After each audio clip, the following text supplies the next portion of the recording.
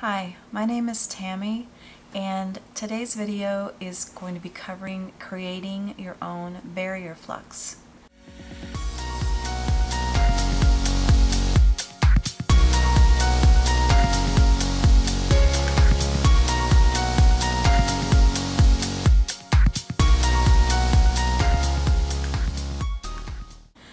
Want to use a barrier flux when you know that you're going to apply a lot of heat to your piece. This will help reduce the amount of fire stain and fire scale that occurs on your pieces. Fire scale is just the oxidation that you see that occurs when you heat up the piece, kind of darkens, gets a little black. And that'll often be removed by your pickle. But fire stain goes much deeper than that, can, can kind of get embedded into that piece and it can potentially ruin a perfectly good piece. So you don't want to spend hours creating the most beautiful pendant or bracelet only to find out in your final stages of polishing that you have this ugly gray cast to your piece and it's usually not all over the piece it's usually a section and it will show up like a sore thumb so we want to prevent that from happening and I found that the best way to do that is to apply a barrier flux before you do any soldering operations. A barrier flux doesn't replace your regular flux or your flow flux, like Handy Flux, but you want to apply this before you apply a flow flux. So it's really easy to make your own and we just have two ingredients that goes into this barrier flux. So the first ingredient that you're going to use is denatured alcohol and you can pick this up at any hardware store typically. Um, I think methyl spirits or something like that is, a, is another thing that you can use, but I tend to use denatured alcohol. The other ingredient that you need is boric acid. So I got this boric acid from Rio Grande and um, it's not the same as borax. Uh, I get a lot of questions about which one do I use, borax or boric acid. All of the articles that I've read typically state that you should use boric acid. And boric acid is actually made from borax, but uh, I'm not sure. There's some additional um, components to it, but this is what I've been told to use. This is what I use. I'm also going to provide a link to an article that was put out there by Mark Nelson with Rio Grande and it actually goes through the steps that I'm going to be covering here today. So it's very easy to mix up. There's no particular formula for this or no ingredient, no measurements per se, but you want to use a glass container to store your flux in and something that has a tight fitting lid. So I like these ball jars or mason jars that has a um, sealed lid.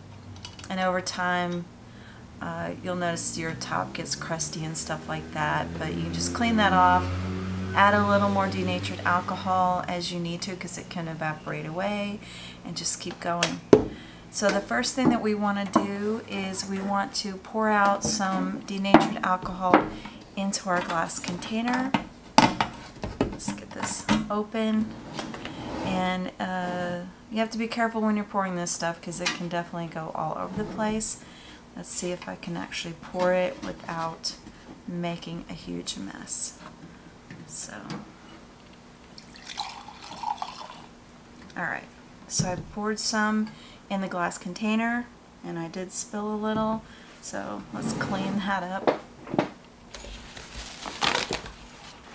I don't think I've ever poured this stuff and not made a mess. Wasn't too bad this time. Alright so let's close this up get it out of our way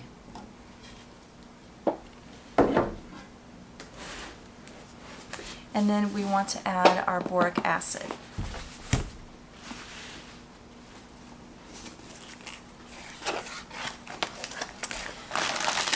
and this comes in a powder form. I think you can get some in crystal form, but you don't want that You want the finest powder that you can buy. And this is very, very powdery. So let me just go run and go get something to scoop it out with. Um, I just went and got a simple measuring cup and I'm just going to scoop out some of this powder and then pour it into my jar. And what you want to do is you want to try and get about a 50-50 um, concentration of this. So about 50%. You can go a little less, a little more. I'm just going to put a little more in here. And you'll see that the boric acid will actually settle to the bottom of this and it will always be separated. You'll have to stir it before you use it each time. Not a big deal, but don't expect it to just dissolve into the solution.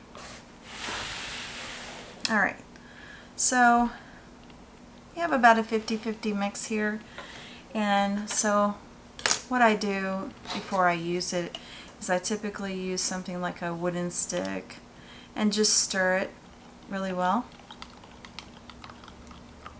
And then I can simply dip my piece into this solution and you can either let it dry and um, it gets this kind of crusty film on your piece or you can actually light it um, on fire. It makes a really, really pretty green flame. So that's kind of like kind of what I like to do. But there's others that recommend that you just let it dry naturally if you have the time to do so. And that that actually results in a thicker, better coating. Um, I've tried it both ways. I don't see a ton of difference between the two, but uh, whatever your preference is, is what you should do.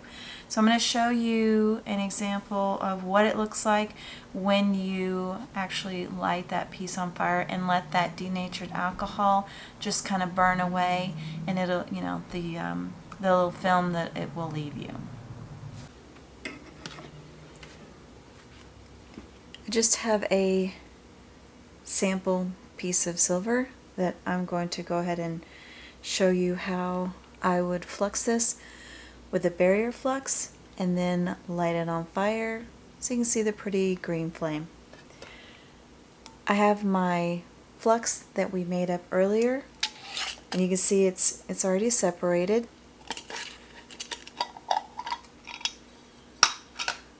So I will stir this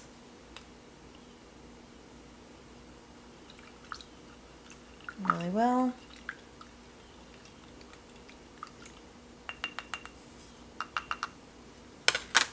And you simply just dip your piece in, stir it around, get it coated.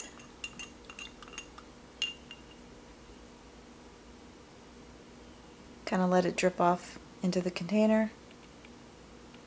And then I'm going to set my container aside because it is very flammable and I don't want it I don't want the container to catch on fire.